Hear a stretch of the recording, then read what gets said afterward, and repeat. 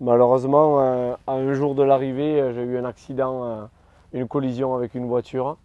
Donc malheureusement, je n'avais pas pu terminer sur une note positive. Et, j'espère vraiment cette année aller au bout pour ma deuxième participation au Hellas. Et, avec une victoire à la clé, ce serait une belle chose.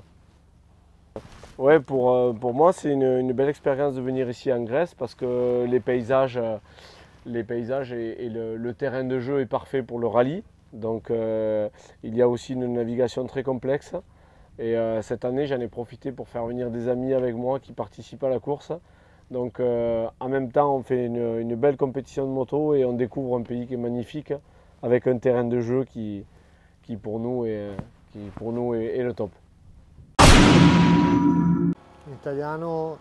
Eh, non è la prima volta, la, questa è già la quarta edizione che faccio di questo rally, è una, una bella gara, mi trovo bene, eh, quest'anno è un po' più difficile rispetto alle precedenti versio, eh, versioni, ehm, ha fatto delle tappe molto impegnative che ha messo a dura prova me e gli altri piloti.